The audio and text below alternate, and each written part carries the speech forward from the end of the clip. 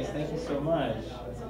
So we are the Humanist Society of Greater Phoenix, your secular oasis here in the Valley. Thanks so much for spending your Sunday morning with us. It's always good to see everybody again.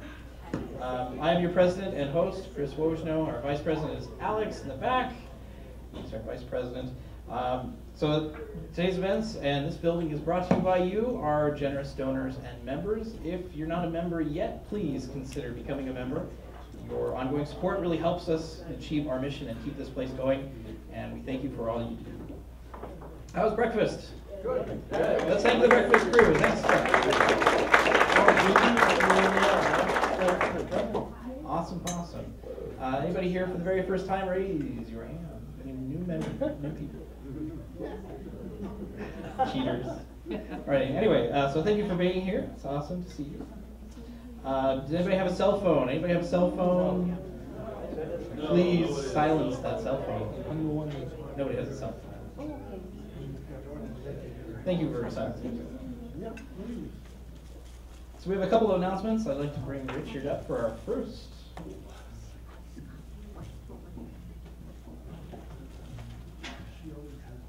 Well, now that we know that you like breakfast, let's talk about lunch. so no, every uh, every Sunday morning meeting and and uh, for other meetings, we do have a lunch crowd going out to a restaurant around the corner, and we have reservations at noon. And it is important for people to understand you don't actually have to have any food there. You can actually have a cup of coffee or a glass of iced tea or something like that. But it's really good for us to just sit and socialize and just have some chatting and talk about whatever crazy things that humanists come up and talk about. Um, so anyway, it's the Mesa Community Restaurant. It's over on Country Club, just a couple blocks away, and I can give you directions after the meeting. Just come up and find me right after the meeting, and I'll tell you uh, where it is. And just so you know, our speaker today is joining us for lunch. So if you want to um, pound her with more questions about Arizona education, you can do that at lunch. Um, so please consider coming, especially new people. If there's any new people here, yeah. Okay. So um, please consider coming to lunch. And uh, we do have a lot of fun there. When we, when we go to lunch, uh, we do have our own back room. There's a reason for that because we often get into conversations the rest of the restaurant do not want to hear about um, because that's the kind of people that we are. And um, we have our own waitress who actually puts up with us. And so we do have a lot of fun. It really is a lot of fun. So please consider coming to lunch. Thanks, Richard. Hope to see you at lunch. I'll try to be there too. Um, any Instagram savvy folks here? Anybody who's Instagram? Nobody? Uh, any, anybody who's handy? Anybody does, does handy work on the side? I know it's early, but come on. Uh, all right, it just just just just trying to put a poll out there. Um, anybody ready for the Flying Spaghetti Monster dinner next weekend? Saturday. Who here's going? Who here's dressing up? Nice. All right. So if you do dress up, you get to win one of two fine bottles of plantation rum, which I will be donating to the party. Uh, if you dress like a pirate and you win the contest as best dressed pirate, that bottle of rum will be yours. If you talk like a pirate and win the contest of talking best like a pirate, that bottle of rum can be yours. So please do come. We do need more prizes though. Uh, if you anybody want to bring in some gift cards, anybody want to? Because I know Roxanne's bringing in gift cards. Yeah. Um, I just put some movie tickets in the room there. Movie tickets are great. Chris, Kathy wants to talk. We've gotten several donations today. We have tickets to the MIM, Botanical Garden, to the Boyce Ar- uh, Thompson Arboretum. Uh, we have um, the Punch-a-Can game where you're going to get gold and silver and pieces of eight. And uh, we have hand drums, um, an African drum, and a xylophone. Um, really nice really, really nice ones. Ones that I hope I get to take to give to my four-year-old great grandson to take home with him. Yeah. So we have some really nice prizes. There's some jewelry that were made by um, some friends of a member, and uh, it's looking nice. Yeah, awesome. So we are going to have a whole bunch of games, and you get to win some of those nice prizes. Is there a question? Anybody hear a question? So yeah, it's going to be a lot of fun. We are, of course, having spaghetti. Uh, for our volunteers, we're gonna start setting this place up at one o'clock in the afternoon, so if you have time to come help us set up, there's a lot of work to do. So we could use an extra set of hands, you know, if you're handy. Oh, Funster. Uh, anyways. I'm gonna send, I, I had a list of people who had signed up to volunteer, and I'm gonna email them. Okay. If um, anybody else wants to volunteer, that's fine too. Oh yeah, it's gonna be amazing. And then, so doors are gonna open at six o'clock, uh, so we hope to see you there. We'll have the hoisting of the flag. We're gonna have our Flying Spaghetti Monsters singers, we've got the games, we've got the children that are coming in. They're gonna teach us about the origins of the Flying Spaghetti Monster. You're gonna, you're gonna have a great time. It's gonna be a lot of fun. Hope to see you there. You can buy your tickets online at hsgp.org, or you can buy them at the door. So please do, uh, please do come, and please bring prizes. You can always bring them the last minute. We would love to help give those away. And it is a fundraiser, so we're gonna have a lot of fun and raise a lot of money for our center. And, you know, it helps us keep going and make sure that we're continuing on our mission and able to do what we, you know, need to do to get our name out there, right? Spread the message. Uh, speaking of which, uh, we're, so this is, uh, some serious news. I'm gonna set my tablet down. Uh, we are thinking about doing, uh, getting professionalized here. And that means we're considering hiring somebody full-time to work for the Humanist Society of Greater Phoenix to help us achieve our mission goals, which is to get our name out there. There are a lot of people out there that go to church, they sit in the pews, and they don't know we exist. They don't know that this is a thing that they can go to as an alternative. And there's a lot more services and things that we could be offering to people who are stuck and don't have anywhere else to go, and we just, we don't have the bandwidth, we don't have the time. So we're thinking about hiring somebody, and uh, the board is on board. The board is engaged. Uh, we've had two town halls so far, town halls so far to discuss this question, and they've been largely positive. And we're going to have a vote on this at the next Sunday speaker meeting on the twenty-third. I will probably email, email out some, you know, you know, like a, a Google form or something in case you can't make it. But we'd love to have you there, uh, share, spread the word. I'll probably put out an announcement in our meeting, announcement on the side, in the, in the mailing. Uh, to come out and vote on this very important question. If we're a go for this, the board's ready to go. And we're gonna start our fundraising campaign to raise twenty-five thousand dollars by the end of the year to pay for half of that salary for next year. So the, the goal is gonna be hire somebody, the job description's on the website, on, on our meetup stuff. If you need the link, we can post it as well. Uh, go ahead and read it, let us know what you think. If we need to add anything, remove anything, change anything. And, uh, yeah, so we're gonna hire somebody for next year, ideally, uh, for fifty thousand dollars a year to help us move forward and to really push humanism wider to the greater world and really make a difference in our local community and in the lives of people. Yeah. Any questions or comments on that? Oh, I've gotta do the town halls early in the morning next time. On a rainy day. Uh, okay, so I'd like to, uh, bring up Pam for our humanist minute.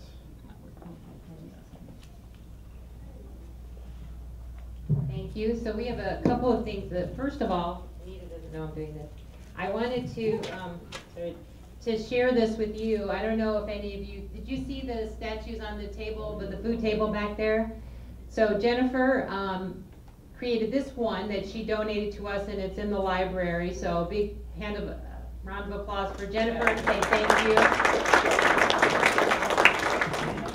And the other three are for sale, so if you're interested in purchasing one of them, please talk to Jennifer about that.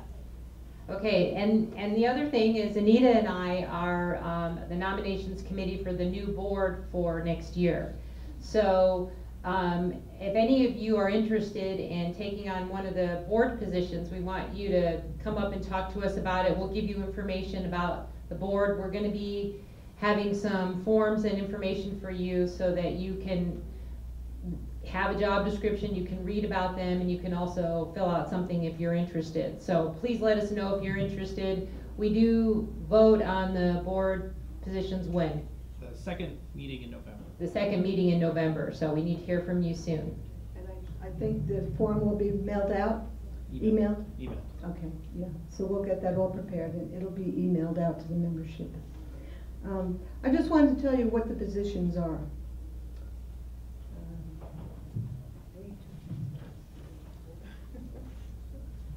Okay, we have uh, president, we have vice president, we have uh, treasurer. Oh yes, treasurer is very, very important. Our current treasurer, Chris Appleton, will be uh, vacating the position in about March or April of next year. We need somebody with accounting experience. This is a key position on our board. Uh, This person takes care of all the monies, uh, makes up the, uh, the data for, what do you call those? Spreadsheets, Budgets. budget. Um, We cannot run without a treasurer, without a dedicated person to um, tally the numbers. So if anybody's interested, um, just let us know, and we'll be sending out the form shortly. So that's treasurer. Uh, We have secretary. Uh, We have uh, program director, property director, membership director. I think there's one more. Mem- uh, well, two members at large. Yeah. One is a fundraiser, the other one is what? Communication. Anybody, and communications, okay. That's it. Yeah, so let us know if you have any questions, so we're anxious to create a great board for next year. Yay.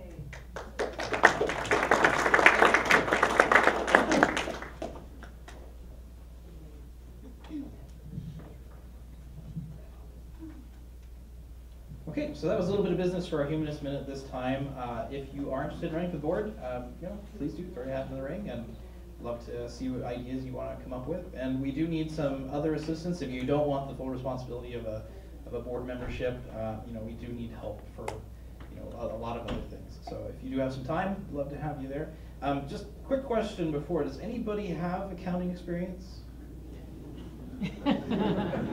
Anyone willing to admit they have? Uh, Howard a bit, Howard a bit. Okay, do you have anybody you're willing to sell out that has accounting experience? There's gotta be more hands there. Anyway, uh, right? Howard's running for everything. Um, Anyway, if you do know a friend you think that we could use their help, please send them our name, and uh, if you send it to Pam or Anita, uh, we'll get them, you know, we'll talk to them and twist their arm. So, but it's a lot of fun. Uh, the board meetings, you do get a, a real chance to, you know, have a say and change the direction of the way this, this place is run and, and what gets done and what activities we do. So it's not just work, it's actually, you know, being a guiding hand in humanism in Phoenix for sure, and possibly Arizona in the, in the near short future. Okay, so that's my spiel for the uh, Humanist Minute. Pam, would you like to come up and introduce our speaker? Welcome back to the stage.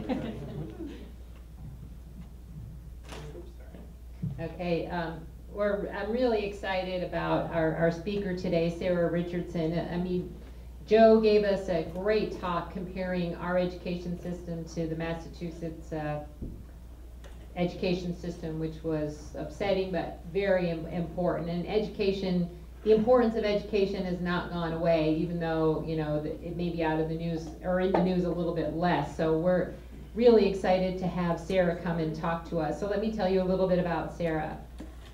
Sarah was born and raised in Arizona, where she attended public schools in Tempe and Chandler, and graduated twice from Arizona State University.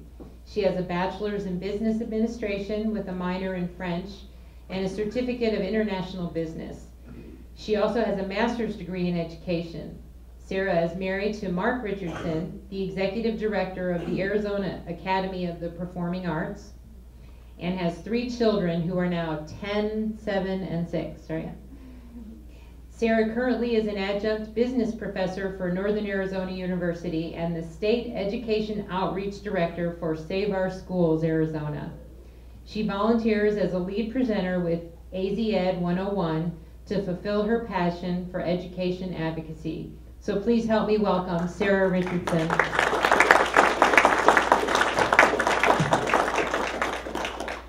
Hello, everyone. Thanks for having me. Everyone can hear, right? This works well? Yep. All right. Um, so I'm going to tell you a little bit about AZ Ed 101 before we get started, um, how this came about. So AZ Ed 101, we're just a group of volunteers around our kitchen table. We all met in the spring of 2017 a bunch of us started hanging out at the state capitol. Don't ask me why. We just started to get involved and, you know, then kind of, hey, I saw you here last week, or I saw you here last week, and we all kind of became friends. And as we're watching what's happening on the floor of the legislature, we're, you know, wondering, you know, we knew what things about education were not doing well in Arizona. We knew things were kind of bad. We didn't know how bad they were. We didn't know how we got there. And so we had a lot of questions. And while there is a lot of amazing organizations around Arizona who provide information about what's going on, we couldn't find all of our answers kind of in one place. So we thought, let's put together this presentation and share it with as many people as we can. So we did the research and we joke now that we're kind of a positive multi-level marketing company. Um, we're grassroots. We go around giving this presentation to any kind of group. We do house parties where you know, people have cheese and wine and we just kind of talk about stuff, all the way to really large conventions, school groups, you know, anything, church congregations, um, anything you can think of. And then what we do is ask that you spread this message with all your friends, whether you become, we train you to become a presenter, or you just simply share some facts. Um, and we've presented now all over the state of Arizona. We have presenters all the way from Kingman to Yuma, Flagstaff, Show Low, Tucson, Phoenix. So we have a lot of people trying to spread the word. And we think it's really important just to have facts. So obviously education has become really um, big in the news and just really emotional right now for Arizona voters. And I think having the facts behind it is really important. Another thing that was important to us when we did this presentation is that we didn't want it to become a partisan presentation. You know, as we're sitting in the gallery watching our legislators pass laws, you know, we were horrified at the fact that it became like a Democrat versus Republican fight. Education is the foundation of our democracy. It's, you know, just so important and we didn't want this to turn into a fight of one side against another. We also talk about the different school systems in Arizona, the public school system, charter schools, and private schools. And we don't shame anyone for choosing one system over another, but we simply provide the information so that you can make a good choice. So those things are really important to us when we started this presentation. As I started to do my research, I thought it was really interesting and you know pretty cool that Arizona wrote in you know education into our constitution right from the beginning, 1911 and 1912 when it was ratified. Article 11 are all the um, sections that deal with education. And to me, the two most important ones that stuck out were Section 1 and Section 10. Section 1 talks about how the legislature is supposed to not only establish and maintain our public schools, but they're supposed to keep them as general and uniform as possible. So if you've been paying attention to the news lately, that's not something that's happening. You know, we have some amazing brand new schools with really beautiful buildings, and we have schools that are literally falling apart with the roof caving in. Section 10 is actually my favorite though because it talks about how the legislature is supposed to make appropriations for public schools to be met by taxation. So our legislature, who all swore an oath to uphold the Arizona Constitution, swore that they would use tax dollars to pay for public schools. So again, when we're hearing things, what are happening in the news right now, passing of vouchers and all these things, sending our public tax dollars to private schools, they're going directly against what they swore to uphold in our Constitution. And this is not guaranteed in every state constitution, so I think it's really important to know that how much Arizona valued public education when we started out. I thought it was really interesting too, this is two years ago, before kind of the Red for Ed and it was in the news every single day, that education was the number one issue to Arizona voters. I figured we're a border state, you know, we could have, you know, immigration or the economy, you know, we're such a business-friendly state, that would be the number one issue. Education is actually the number one issue. And the majority of people in Arizona will pay, say they'll pay more in taxes if they know it goes to public education. It's also important to know that when we do surveys of CEOs and business leaders, you know, we ask them, what are the top challenges to doing business in Arizona? Every time, right, for the past several years, they say the number one and number two challenges to doing business in Arizona deal with education. One, that they know we're not investing enough in our public education system. So if you want to come here and set up a business from out of state, a CEO does not want to come and send their children to our public schools. Um, they're also really concerned that we're not graduating an educated enough workforce to fill really high level jobs, you know, that a lot of these companies want to bring in. So companies will come into Arizona and bring call center jobs and warehouse jobs, and we're missing out on some of those larger, you know, high tech jobs and headquarters. Um, as an example, we were told by um, a former legislator that IKEA was willing to bring a national headquarters here, international headquarters to Arizona several years ago. And they decided not to. And in an email to the legislators, told them why. It's because you're not valuing public education. So we're losing out on a lot of these opportunities. It's also sad and kind of important to know that we've cut more from public education funding than any other state in the nation since the Great Recession. And that's totaled about $4.5 billion in the last 10 years.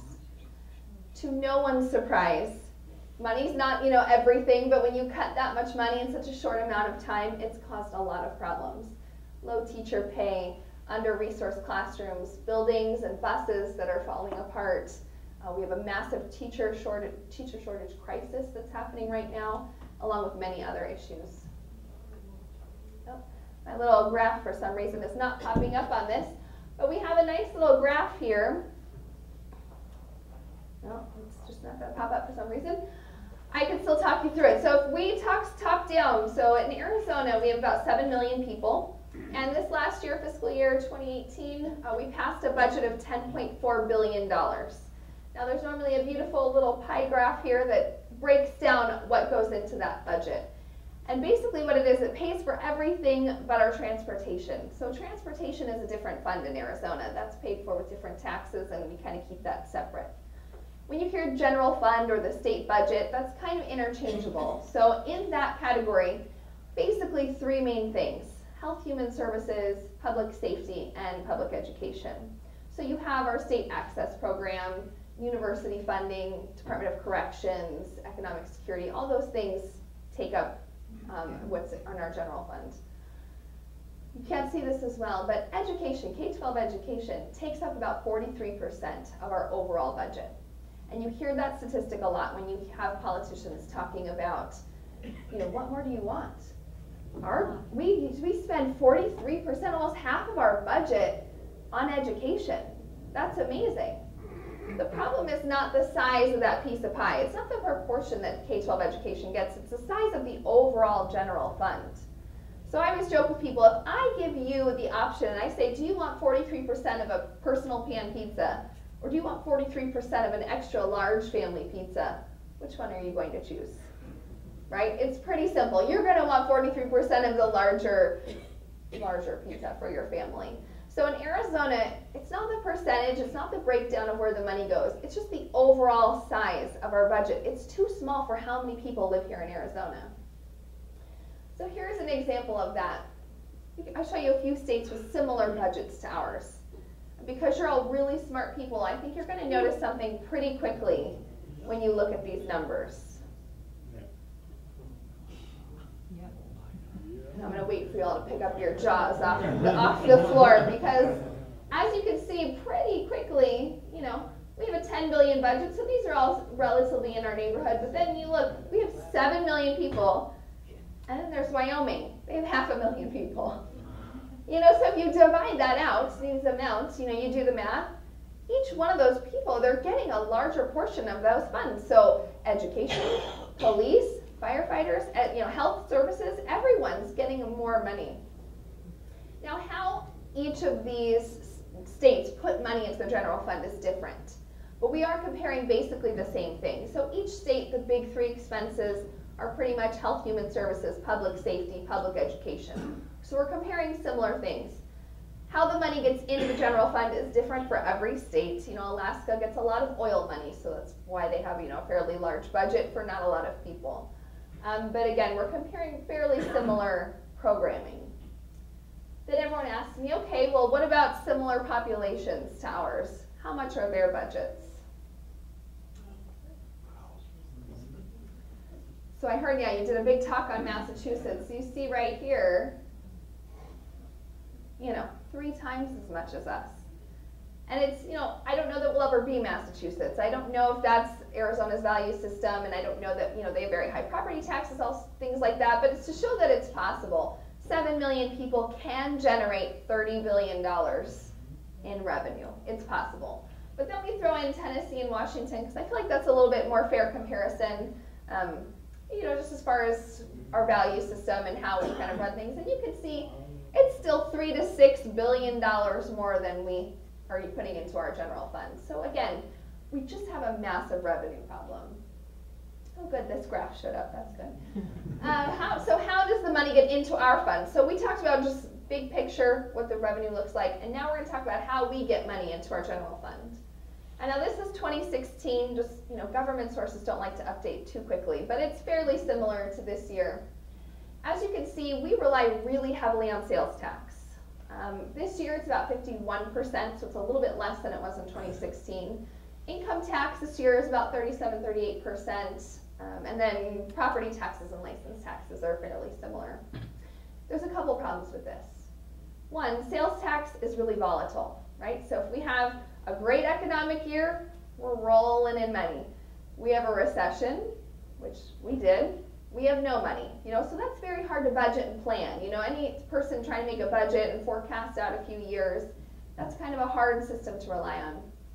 It's also really important to see that we rely so heavily on one source. What happens when that one source goes away? Mm-hmm. We don't have a backup, right? Other states kind of make it a little bit more equal, a little bit more even, so that, you know, in the case of a great recession, like we had in 2009, 10, 11, and we lost three to four billion dollars overnight they, you know, other states had a little bit better chance of, you know, safeguarding, whereas we just had to cut everything overnight and we had no other backup source. The other problem is just, again, how much we rely on this sales tax. We have high, one of the highest sales tax rates in the entire nation.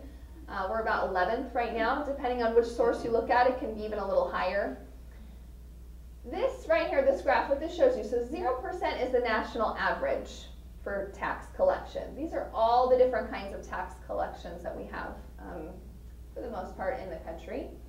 As you can see here, this is this is from Arizona. Or how much are we different from the national average? All these sources, we are below average, all the way up to almost 60% below average for these different kind of tax collections, except for one, sales tax. We're almost 50% higher than the national average. Another big problem with relying so heavily on sales tax is that it's a really highly regressive tax. So it very negatively impacts low and middle income families. And this graph just shows how drastically that occurs.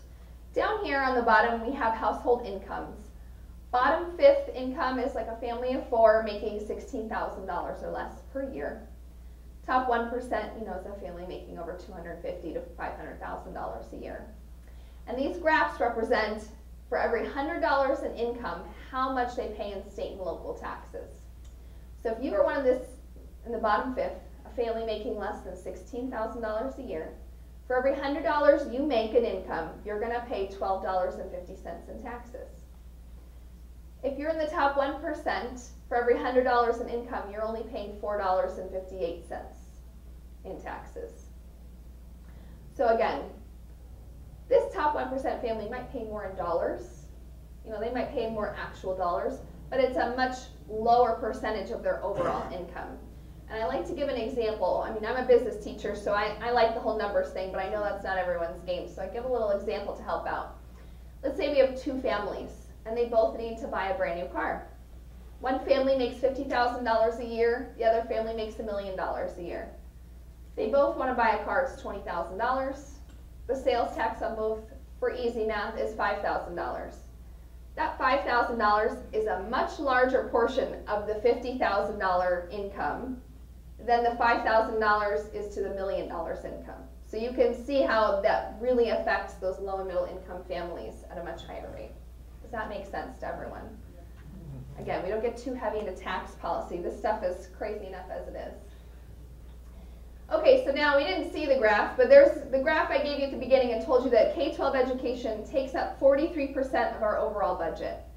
This is how that money gets in there. So if you ever have insomnia, go to you know azleg.gov, read the appropriations report. You'll be out in no time. I should have done that this morning in the rain. It kept me up all night. But um, so this is how that 43% gets made up. So if you just look at that 43%, this graph is how the money gets in there. Because everything, you know, isn't just put into one pot. It has very specific places of where it all goes. Before I get to explaining this, you're going to see this word equalization. And when Arizona does something right in education, I like to talk about it. And one of those things is the equalization formula. And what that states is we've had it since 1980, and it says no matter where a kid lives in Arizona, they get the same per pupil funding from the state.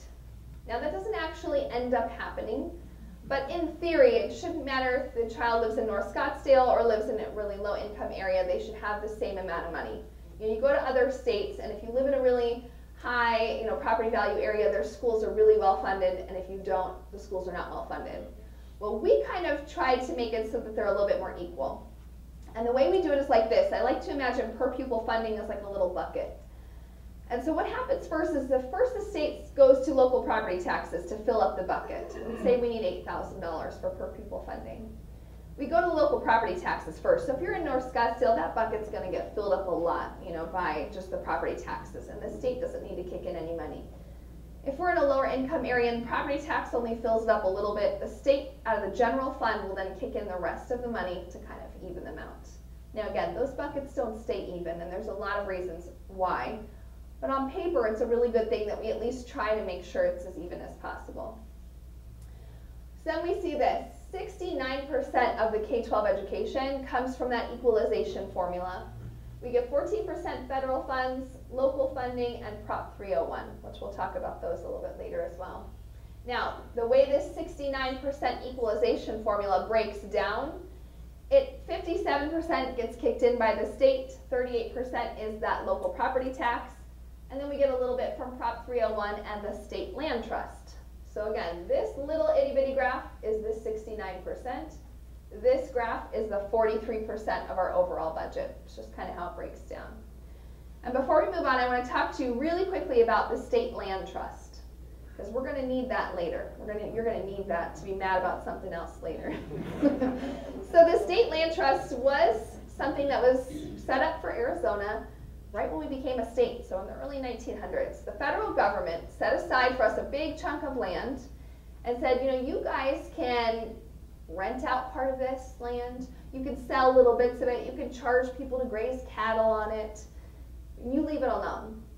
We're going to take all the money that you make off of this land, put it in an account.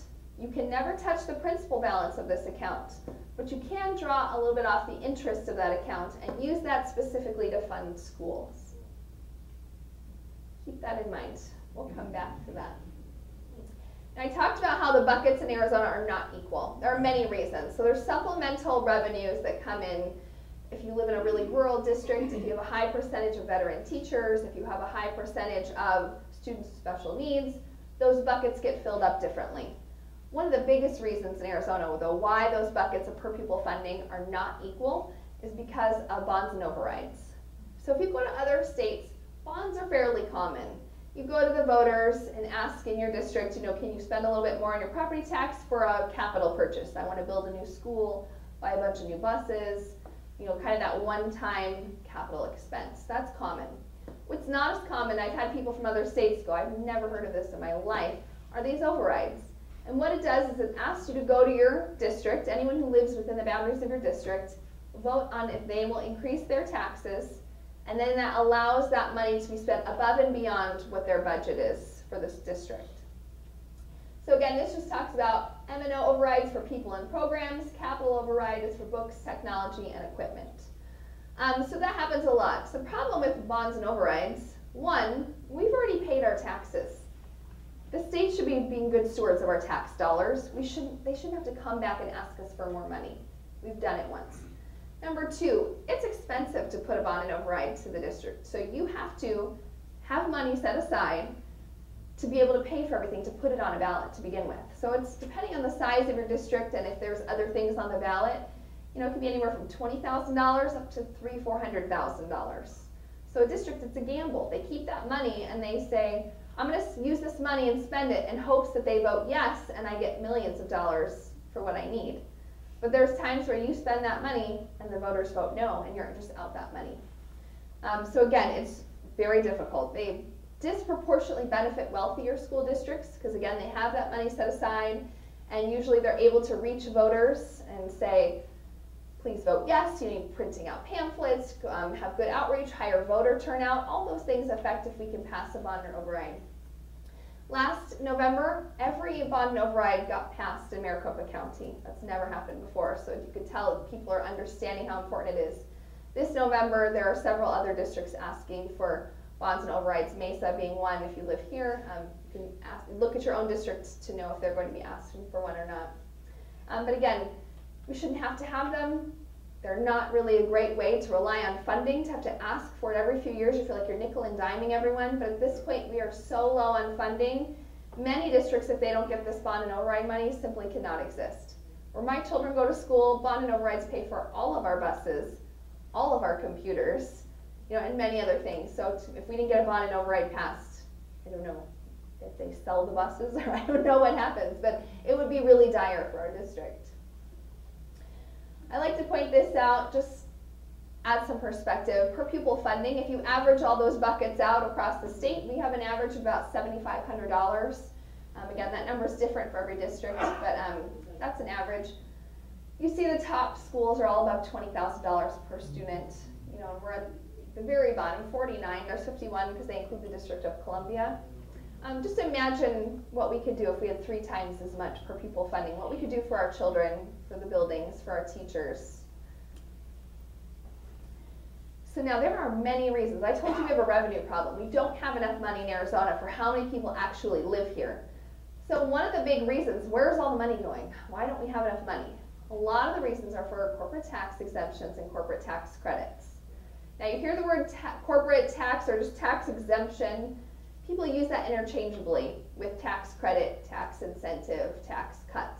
It's, they're all different programs, but they're all a way that money is taken out of the general fund or blocked from getting in the general fund. So this is all money that should be put into our budget every year, but for some reason has been diverted elsewhere. We're going to talk really specifically about um, tax credits because that's we have so many in Arizona and that's where a lot of our money goes. Tax credit, um, most of us take advantage of this kind of program. You can donate to a third-party organization, whether it's animal shelter, a local school, and at the end of the year you subtract that amount for how much you owe on your taxes for a dollar for dollar basis. So if you donate $300, at the end of the year you subtract $300. That's how that works. Problem with tax credits. So again, I'm a business teacher, so I'm like, well, there's got to be a reason we have so many. We have over 331 in Arizona. There should be a good reason. Not really. So they lack accountability. We don't know in any given year how many tax credits are going to be claimed, nor do we know what they do with the money once that the dollars go there. So in theory, they're tax dollars. They should be paid in taxes. They're being donated elsewhere. We don't know what they do with that money. You know, every other government program, you track where your tax dollars go and show outcomes and make sure that they're going where they're supposed to be going.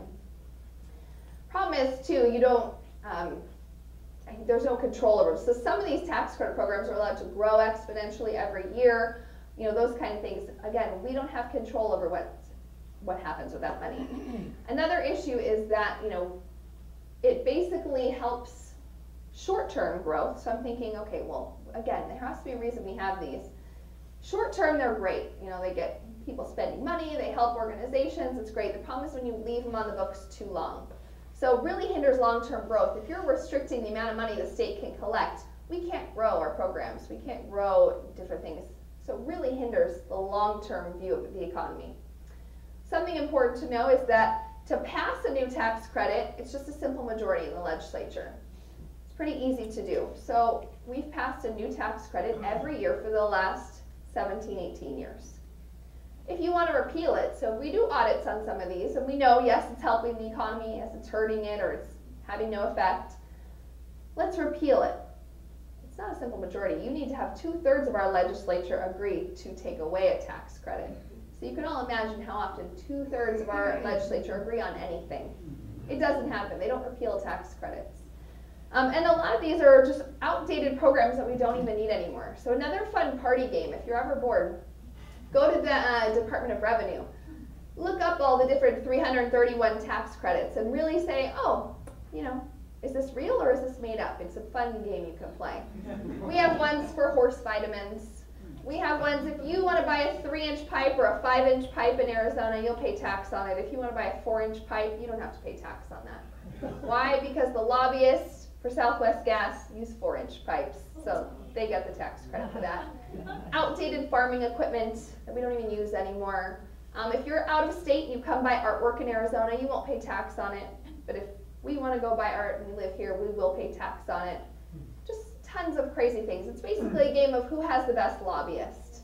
And it's not something that's beneficial for the entire state.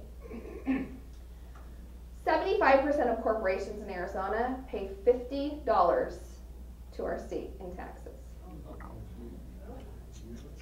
And that's not a misprint. That's not, you know, I'll say it again. Three quarters of our corporations, Target, Walmart, GoDaddy, PetSmart, they pay $50, five zero, in taxes. Now, how many, think of your own taxes, how many of you paid more than $50 in state taxes? I know I did. The way they're able to do this is by taking advantage of so many different tax credits. They can write off everything that they owe, and by the end of the year, it's $50. And that $50 is really just a filing fee. That's why that dollar amount exists. We have the sixth highest or sixth lowest corporate tax rate in the entire nation. You know, they this is how they reduce all their income or their uh, state taxes at the end of the year. Another huge problem is something called carry forward. So let's say I donate $10,000 in tax credits, but I only owed $5,000 at the end of the year.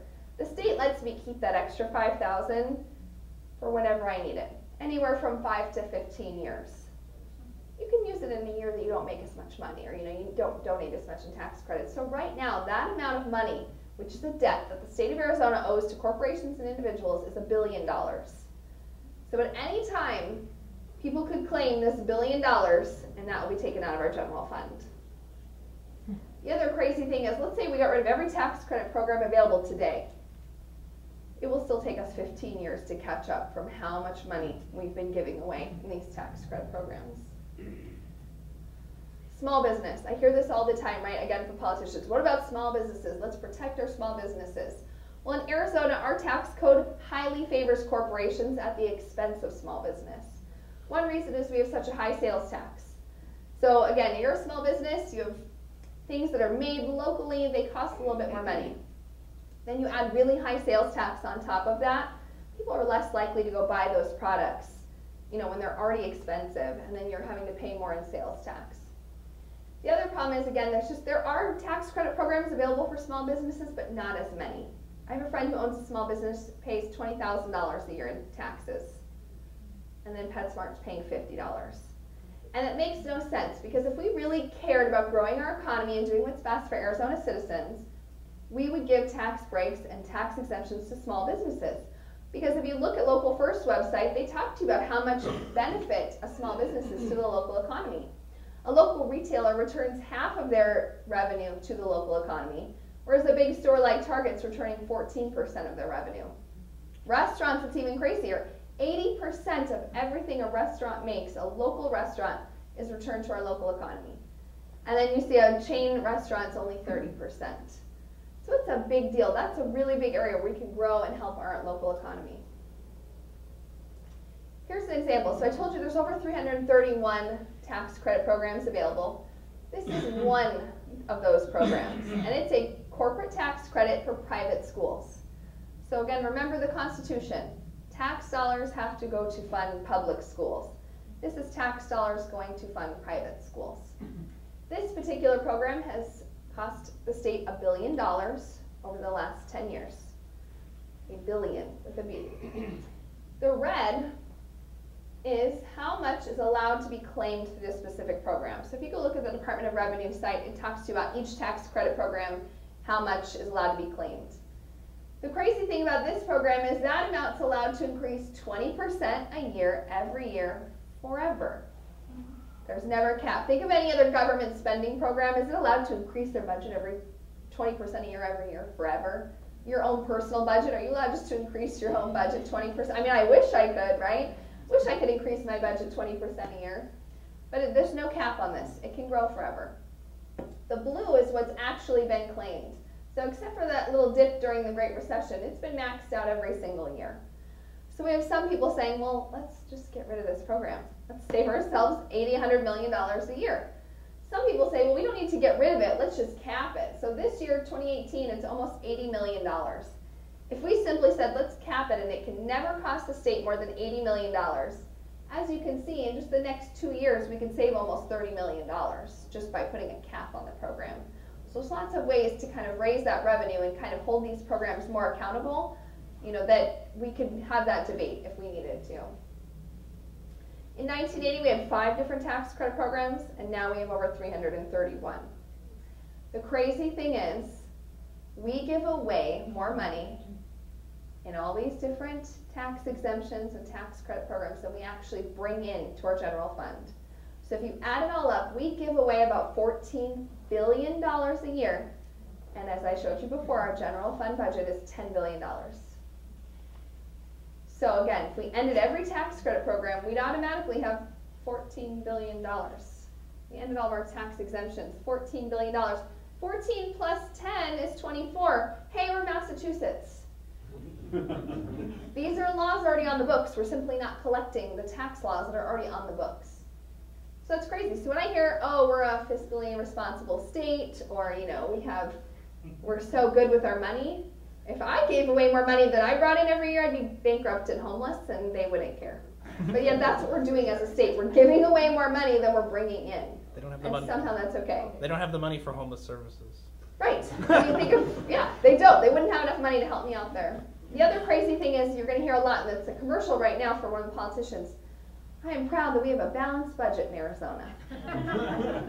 okay, well, I don't know about that. The crazy thing is we don't have a balanced budget. We've had what's called a structural deficit since the year 2007. And all that is is a funny little accounting trick. So you do your accounting every year, your budget, in Arizona, if it's an ongoing expense, we include that in our budget, in that 10.4 billion. So if it's something that we do every year, that's included. If it's a one-time expense that happens all within one fiscal year, we don't have to include that in our budget. it's crazy, right?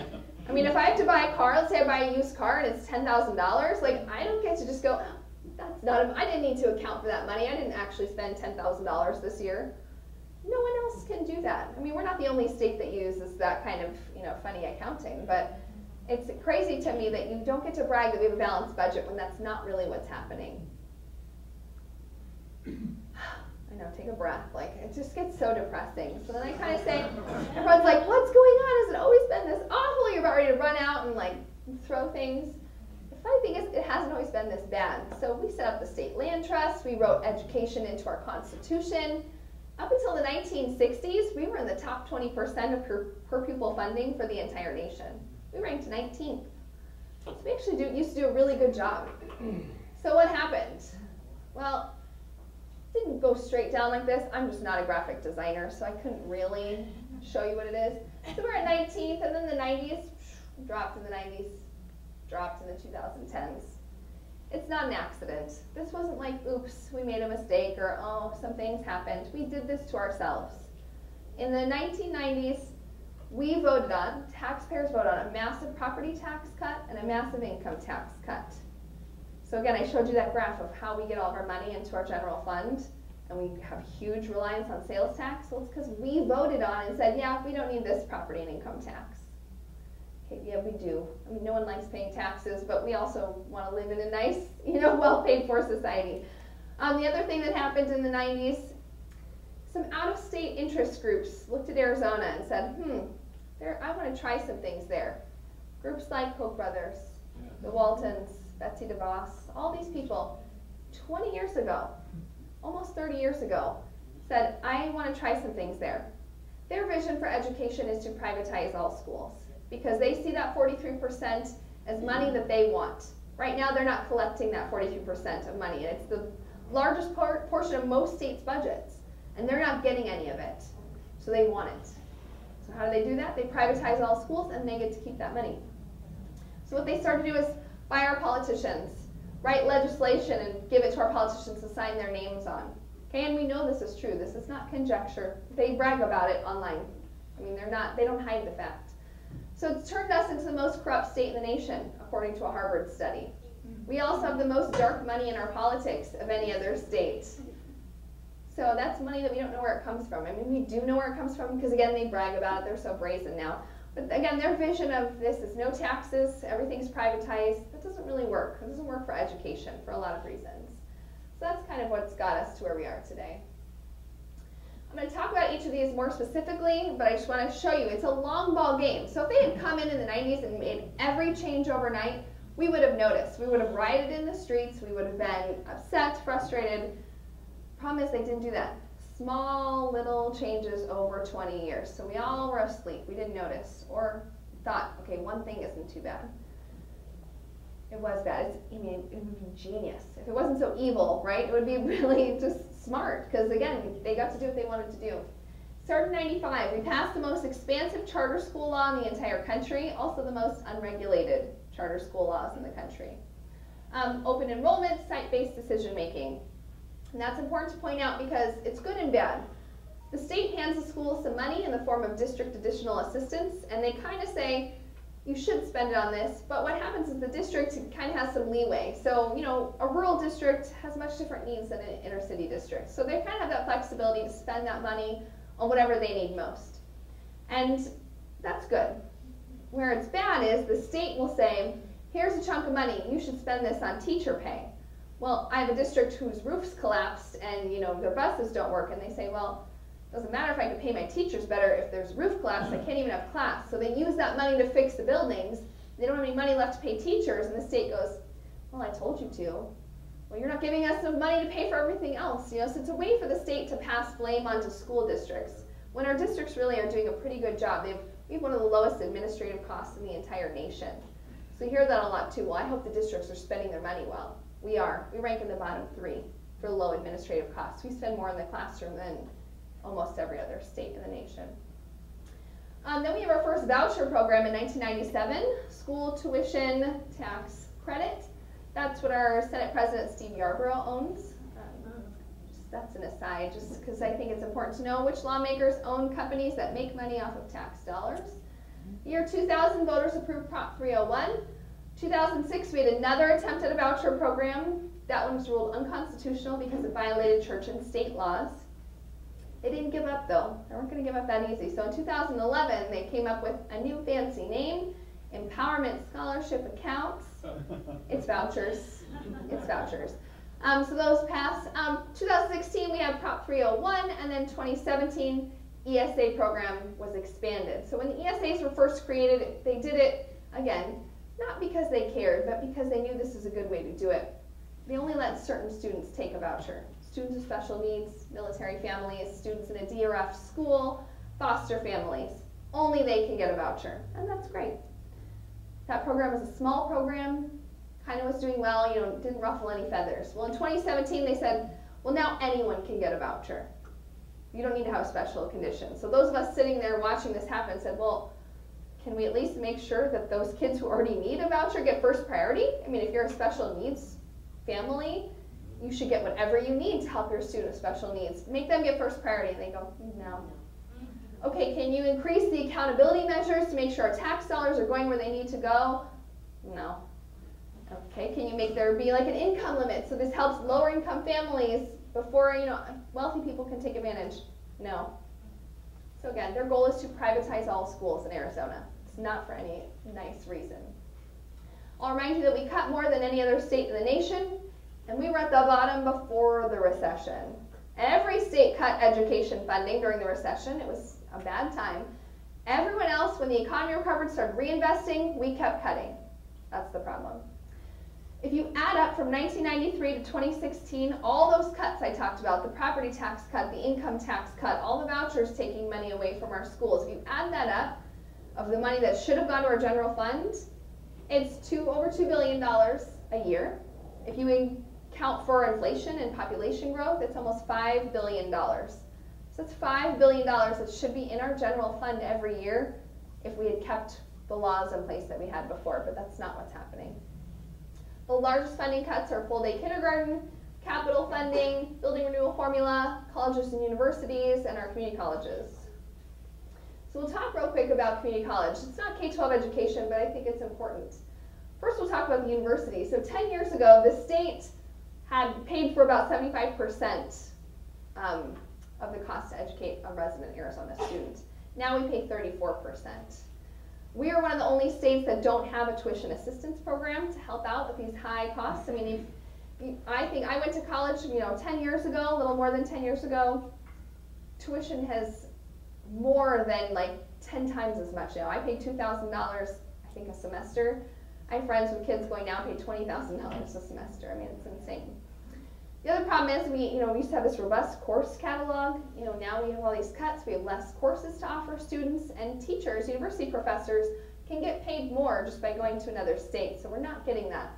And universities are really important for a local economy because we have innovation, we do all these things that really benefit the local economy, do everything that help would help the state out.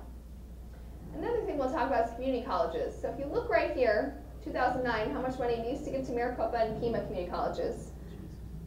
And then we look over the last several years, then we get to zero. 2017, zero. 2018, zero. Now, Maricopa Community College District is one of the largest in the entire country. Community colleges are vitally important to the economy because that's where you go. Not everyone's going to go to a four-year university. Some people just want to get job skills training quickly. If you lose your job and you're an older adult, you go to a community college to gain new skills to get a new job. So it literally is what keeps the economy humming as far as the job market. Now this is just a fun graphic from the Students Association. This is this past year, so just in May of the budget that was passed. ASU gets 42 million from the state. U of A gets 2.2 million. NAU gets 1.6 million. MCC, Maricopa Community Colleges, get zero. PCC gets zero. But then look at this. Freedom Schools gets $7.5 million, so pretty much more than all three of our universities combined. What's a freedom school, you ask? If you don't know those faces, you should. It's the Koch brothers. They set up these awesome little schools in the middle of ASU and U of A. Service is about 30 people at ASU and even less at U of A. And the state, our actual state, gave our tax dollars to this private program at a university, $7.5 million. And what do they do there? They teach their fun brand of economics. No taxes, and everything will still work. Why does the university let it happen? Well, so the question was, why does the university let this happen? Well, when, yeah, money. I mean, so ASU's had their budgets cut, and U of A's had their budgets cut. Koch brothers saying, well, you know, we'll, we'll let you come here, we'll give you some money. They go, okay. So I asked you, what do you do with $7.5 million and and 30 students? Well, we found someone who knows someone who teaches in the program, and they get to have all expense paid trips all around the world and meals and all these wonderful things. You know, free school. So, yes, crazy. Again, public tax dollars going to private schools. It's against our Constitution, but it's happening.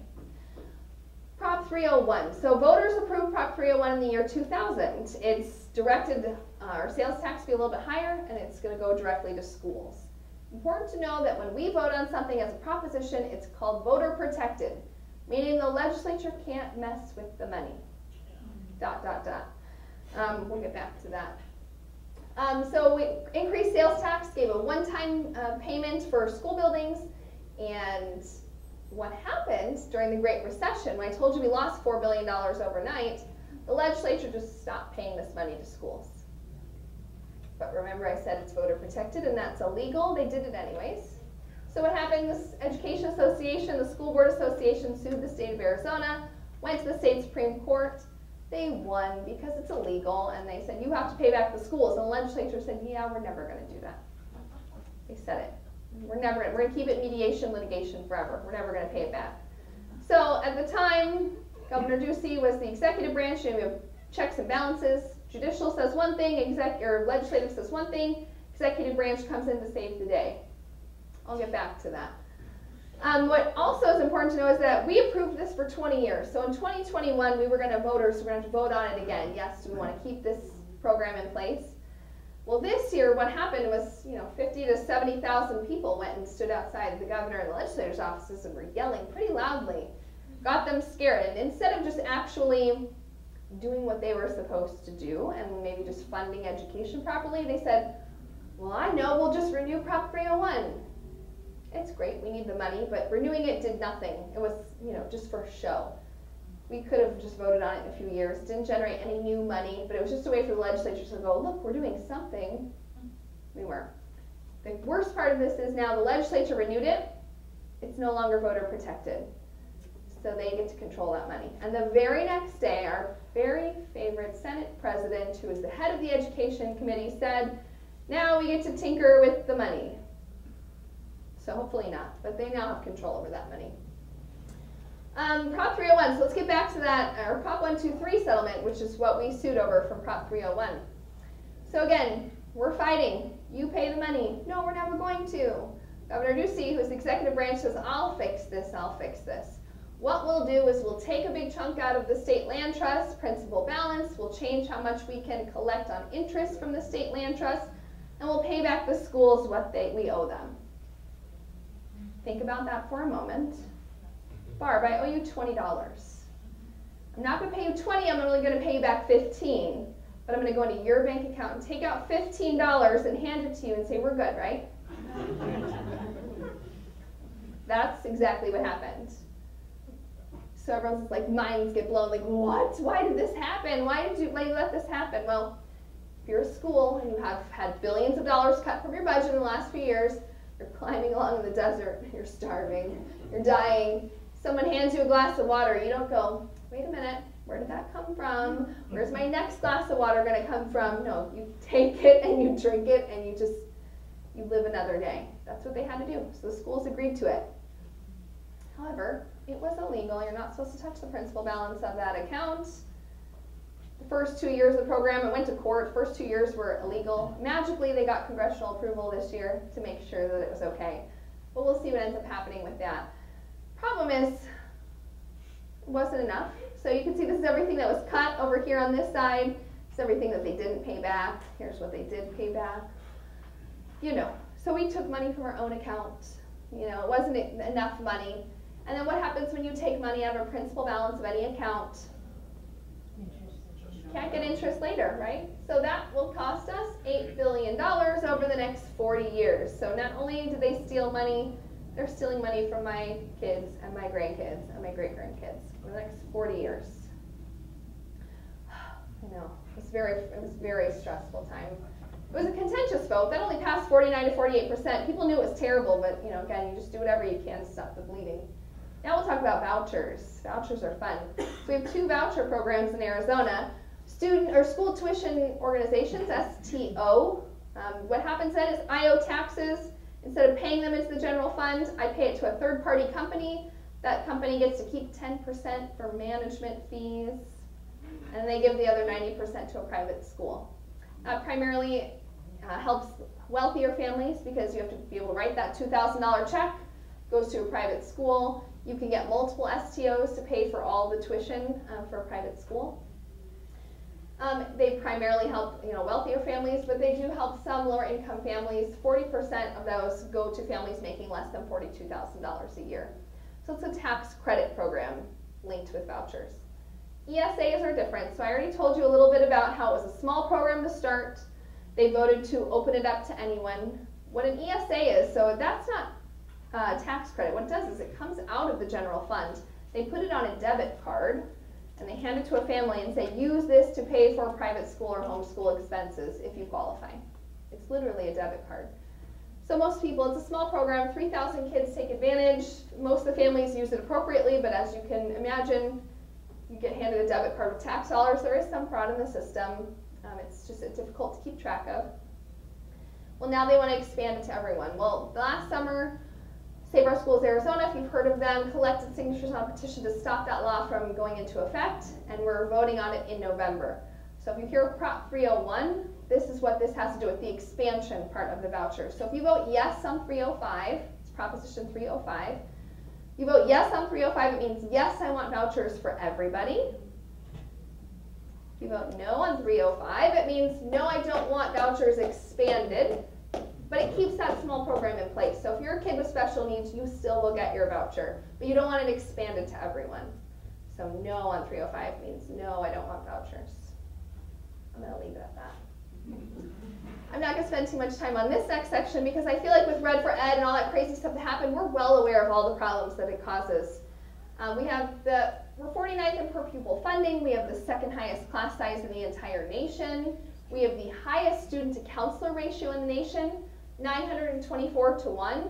That's an average. So there's counselors in Mesa who have 1,300 kids. The national average is about 450 for one, and the recommended is 220 or 250 to one. So we're, you know, we're three times higher than the national or the recommended average, and twice as high as the national average. To no one's surprise, smaller classes mean better outcomes, especially for the really little kids. You know, if you're in kindergarten, you have 18 kids or less, you'll have a much higher chance of having good reading and math outcomes. Really important too for low income, minority, and ELL students as well. We rank 49th in the US, even after the big 20 by 20, 20 raise. That didn't happen. Um, we're still at the bottom.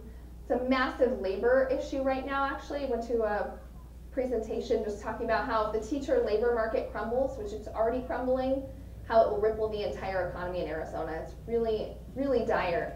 Um, we could immediately move to any of these states and make $20,000 more a year. And a lot of people who live on our borders do drive, teach somewhere else, and come back. People do point out, oh, well, we have a low cost of living here. Well, our high sales tax kind of negates a lot of those benefits, you know, and they make 14% less now than they made in 2001. So people say, why do teachers deserve a 20% raise? I've never gotten a 20% raise in my life. Well, they make 14% less than they did in 2001, so 20% doesn't even catch them up to inflation. The biggest issue with this labor market crisis is that we have a huge teacher shortage crisis. So at the beginning of the year, and it's similar for this year, the numbers just came out, we needed about 8,000 teachers. By the end of the year, we still needed 2,000 teachers. That's 60,000 kids in Arizona that never got a teacher, a full-time teacher. 4,000 of those positions were filled by long-term subs. 120,000 kids have someone in front of them that's not a certified teacher. All you need is a fingerprint clearance card to be a long-term sub. And why does that matter? So I have a story that I always tell of a friend of mine. She's an English teacher, a ninth grade English teacher at a high school. She had a kid come to her and say, will you tutor me in math? I need help. She's like, well, I'm an English teacher, but you know, teachers are amazing. They do everything for everyone. So she said, yes, I'll help you. Starts helping him and is like, you know, you're not, you're doing not too bad. Like, you're good at math. What's the deal? And he's like, well, sixth grade, it was my best subject and I had all A's and it was great. Seventh grade, halfway through the year, my teacher left and I had a sub who just came and passed out worksheets all day. Eighth grade, I never had a teacher as well, passed out worksheets all day.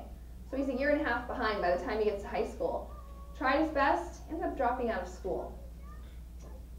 So again, it's not enough just to have a warm body in front of our kids. We need qualified teachers who can really help them so that it doesn't ripple effect later on. Um, we also have a quarter of our teachers who are eligible to retire soon. And the crazy thing is, we actually don't have a shortage of teachers. So if you go to the Department of Education, we need about 60,000 teachers in Arizona to fill for the 1.1 million kids we have. If you go down to the Department of Education, we have 90,000 teaching certificates on file. We should have 30,000 teachers like banging down the doors to help out, but you know, why would they? There's so many issues. Teachers can make more doing a comparable profession. You know, they're not going to come back. Saying all this too, I want to say, for how bad teachers have it right now, our kids actually achieve at about 50% of the national average. Like we're in the middle of the pack. So our kids are achieving really well. Our kids aren't achieving last place in the nation. Our kids are doing pretty well. Why is that? You know, our teachers are just working their tails off, you know, to make sure our kids are getting what they need. So they're doing all this work and they're just, you know, taking more and more and more of themselves. So it's important to know that our kids are still actually doing really well and achieving at a decent level despite all of the challenges presented and thrown at teachers. Um, another issue, we have capital funding issues. We're being sued again, yay, they're suing the state, you know, they're not paying capital funding. So we have buses driving 100,000 miles past their expiration date, roofs caving in, intercoms that don't work, safety issues like that. Um, school districts are left to come up with a difference with bonds and overrides to kind of help insulate from these cuts that have happened. $2 billion just from this one line item have been cut. Schools are supposed to get between 450 and 490 per student for capital funding. I step aside and whisper to you that number hasn't changed since the 80s. Okay, let's pretend though it's enough money, and that's okay. It's not. But let's say that 450 to 490 is an acceptable amount. Right now they're getting 40 to 80 dollars per kid. It's just not enough. Last thing we'll talk about is the differences in all of our school systems. So school choice is not going anywhere in Arizona. It's It's here to stay. However, we're not making true school choice. We are not choosing apples and oranges. We're choosing between apples and horses. Because all three school systems are not forced to play by the same rules. And it gives the ones that do play by the fair rules a bad name because they're getting lumped in with all these groups taking advantage of the system. Charter and district schools, they're both considered public schools in Arizona. Both receive public funding. Charter schools are private contractors that receive taxpayer dollars to run their school. So I can buy land, building, and equipment, and the state will pay me back. The state will let me give me money to run it every year and say after 10 years I'm tired of running a charter school. Well, I get to sell it and keep all the money. And that just happened fairly recently in the news, I think if you know. One of our other legislators, legislators, the head of the ethics committee, got to sell his charter school and make 11 to 30 million dollars of our taxpayer dollars, puts it in his pocket. Wow, that's fair. Um, if you a district school closes, you have to go to the voters and they decide what happens with it, and the money goes back to the state, or the voters decide where that money goes. We own our district school, so we decide what happens. We don't get to just the principal doesn't get to sell it and put the money in their pocket. Um, also, charter schools have self-appointed school boards, so they don't have to comply with open meeting laws all the time or post board docs. You can vote on your school board and make sure they're held accountable. Another thing is district schools have to provide transportation and lunch. Charter schools do not have to provide transportation and lunch. So to go to a charter school, you have to have the privilege of getting there, and your family has to have the money to pay for your meals. You, you can imagine low-income students, that's not something they're able to take advantage of as readily.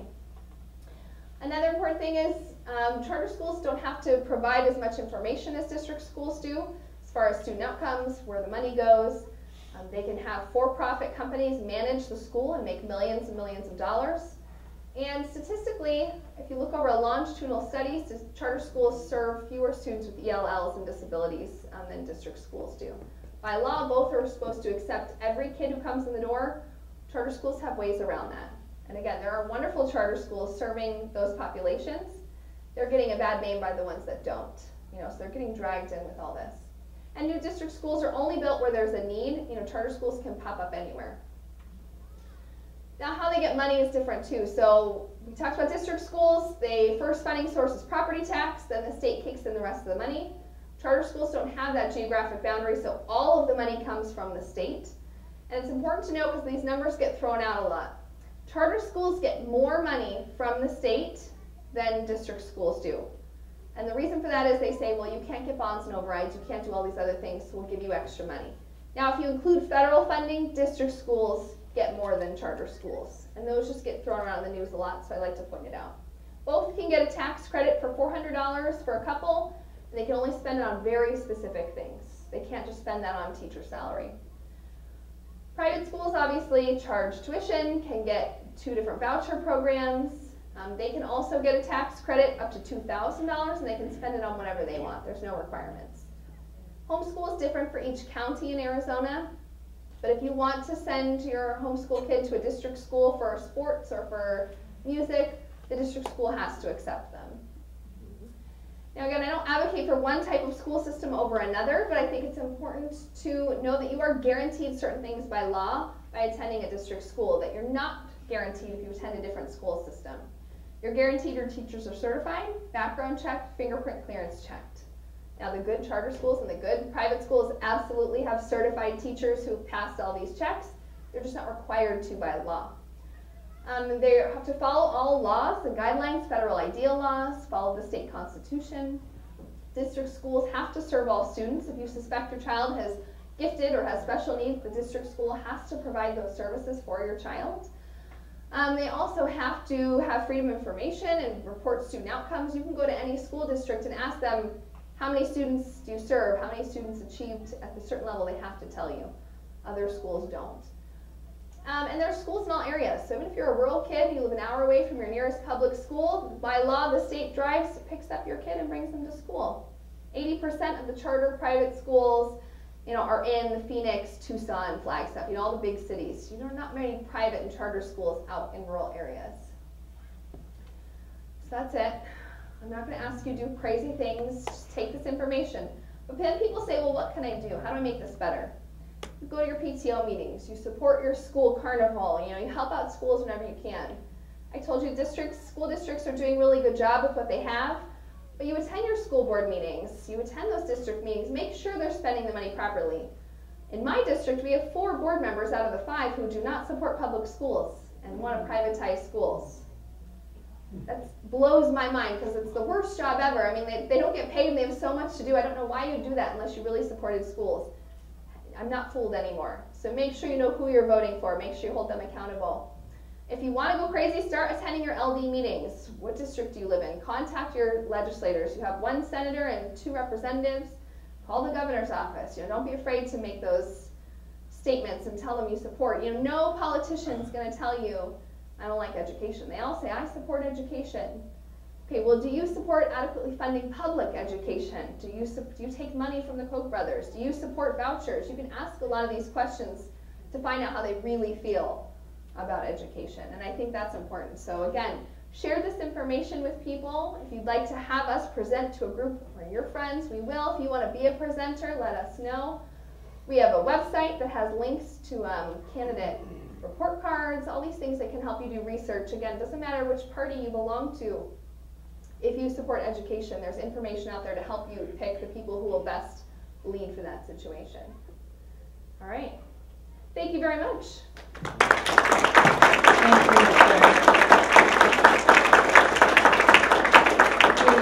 Any uh, comments or questions for Sarah? Raise your hand. Oh. I know, take a deep breath. And I will, if you somehow get me your email or if you go to our website, our email's on there, I will send you a PDF of this. It's a lot of information, so I want to make sure you know that. If I live in Alice in Wonderland, and I call this a partisan? Oh, yeah. Hold on. Joe, Yeah. Joe, wait, Yes. oh, microphone Microphone back here. Wait your turn, I'll be right Oh, I'm there. sorry. I'm sorry. I feel really horrible because I used to support all this free market, free market voucher crap. Um, Well, don't feel terrible. I always tell Yeah. people, like, because they're sneaky, they're good at what they do. They make you sound like it's so amazing Well, and was- helping kids. And I used to call myself a libertarian a, while- a while back, so I, I believe this, this crap.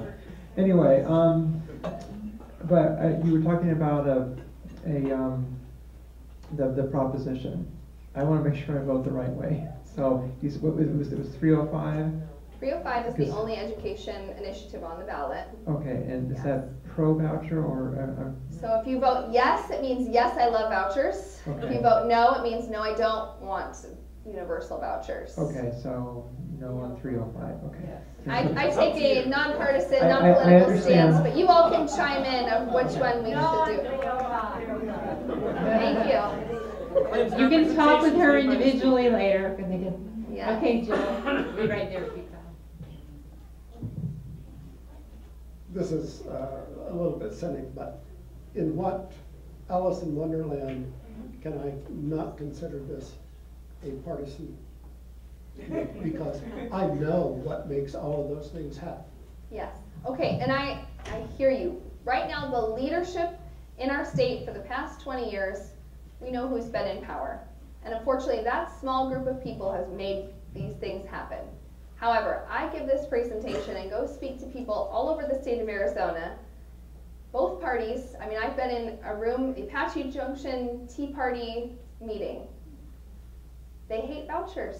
They don't agree with this. I don't think, you know, I think if you go to your average Republican friend, we all agree that public education is really important. You go to your average, you know, Democrat friend, public education is important. It's unfortunate that a small group of a certain party has been corrupted by money and power, but I don't think that's the way Arizona citizens feel. I know when I'm out, whether it's with teachers during Red for Ed Week or, you know, collecting signatures last summer, I stood side by side with Republicans and Democrats and independents, and we all feel the same thing. It's just a matter of knowing who you're voting for. There are there are Republicans in our legislature that did not vote for this voucher bill. Michelle Udall was one of them. You know Heather Carter, Kate Brophy McGee. There are people who are doing the right thing. Unfortunately, it's a small, a very small portion of one party that's taking over right now. So hopefully, no more. Um, yeah, and kind of on that point too, any, anybody that I've talked to on this sort of subject, no matter the party lines, will, they'll may initially think that privatization is working, but when we look at kind of the stats that you showed to suggest that it's not, they come around to the idea that it's just about having the conversation about what actually is rather than drawing the party line. Uh, that's, that's why that, that is important. But to that point, you mentioned that students are performing at about fifty percent the, the national average still, despite all the other terrible statistics in the slides. So is it illustrated that student performance is impacted? Were we above fifty percent in the past? What is the, because that's, that's the real important uh, value that we're looking at here. So if that's not affected, is it, how much of this is actually an issue? Yes, so it's hard to measure that because every state has different testing and different standards that they base on this. The reason, one of the main reasons they feel like Arizona has done so well is that we implemented the Common Core standards um, across the board, even though that's a very controversial issue.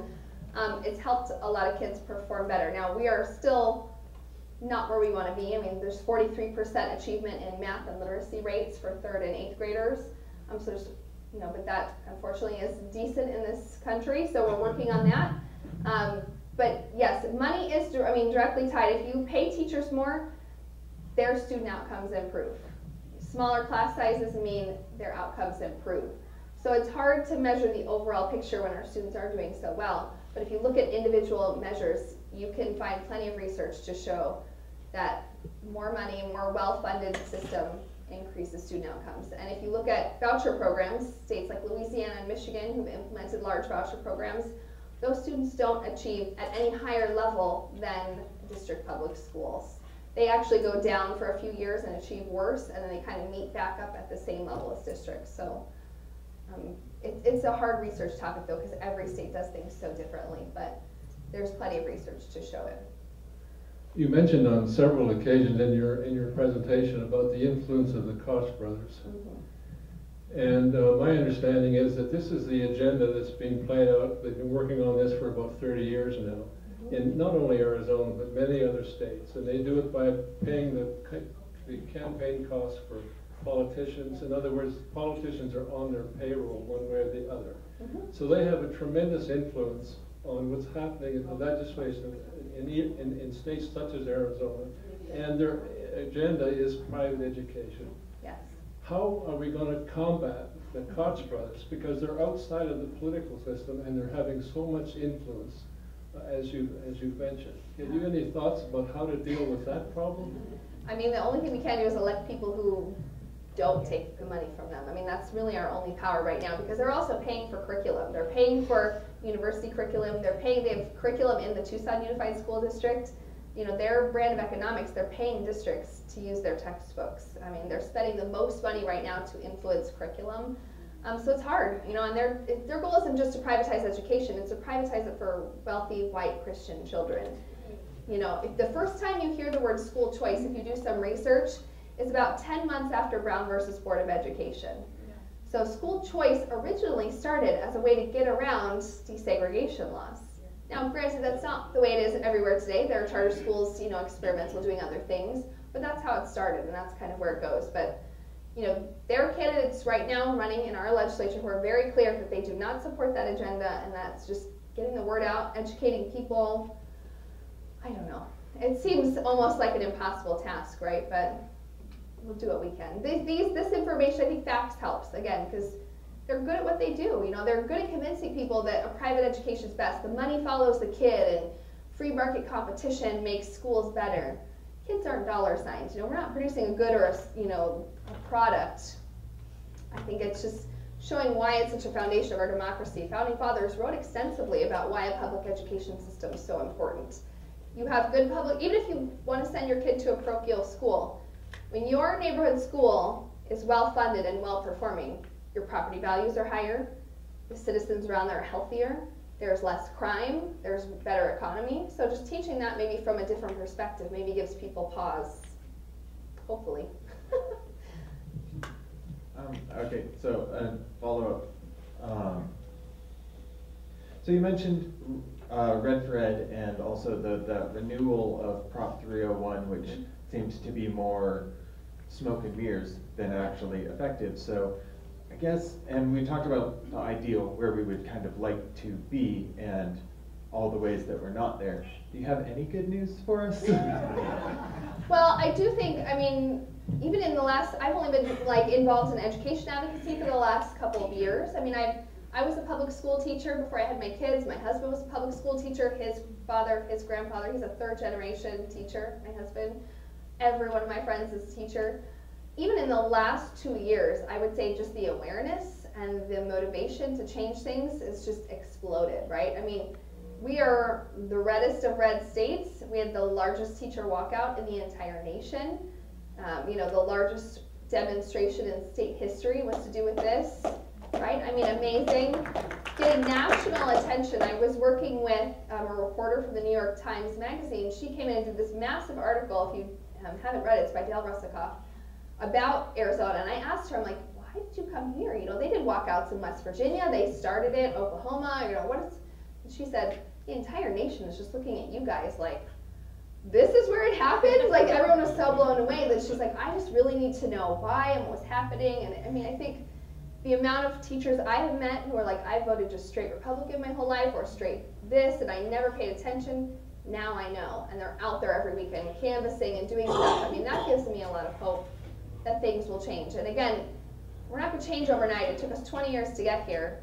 I told you that it's going to take 15 years, even if we end every tax exemption, to get to where we need to be. It's a long fight, and I think that's it's hard for some people to know that you know we just can't ever go to sleep again. We have to keep talking about this every year and make sure it never happens again. But I'm hopeful for sure.